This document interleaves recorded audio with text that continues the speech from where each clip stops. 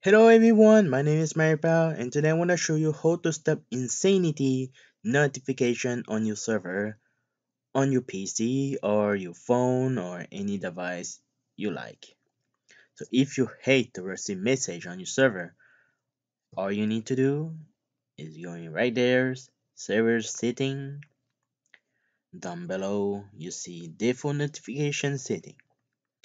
This will determine whether member who have not explicitly set their notification setting receive a notification for every message sent into server or not. I put it only for only a mention because I want the notification got your name only, not everyone. If you do all message, oh my god, you're gonna have an insanity notification like this video. This on Instagram. This guy forget to remove the notification. That's what this does.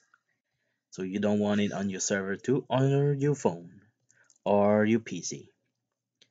So only put only a mention only on your name or other people name. So it's gonna work. So you won't receive any message from your server or get insanity of notification.